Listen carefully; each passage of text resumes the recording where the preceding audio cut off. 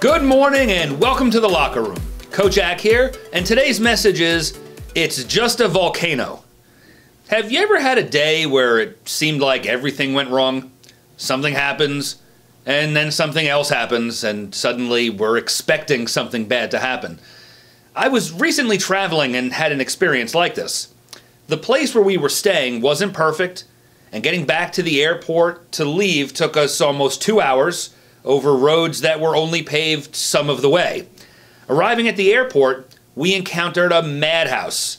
We were in a small country, and there are only two international airports. Unfortunately, a couple days earlier, a volcano erupted not far from the country's biggest airport, shutting it down and sending all the travelers to the other airport. Not only was the smaller airport overrun, but it was filled with frustrated, grouchy people. Or at least that's what it looked like at first. Despite the inconvenience to a lot of people, my wife and I discovered that more people than not were still smiling and very friendly. In fact, if not for that volcano, we would have missed out on some pleasant conversations with people, including a mother and daughter who had just had an adventure vacation together. We also got to chat with a nice couple with three kids who had, smiled their way through missing a flight a day earlier because of all the cancellations.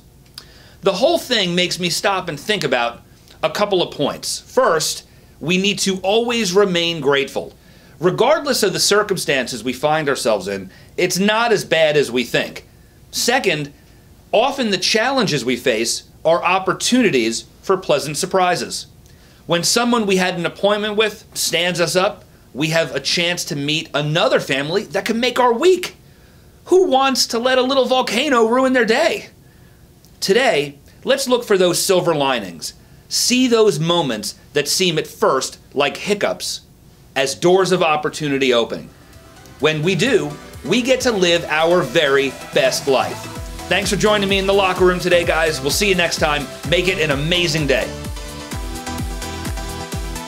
Share the inspiration.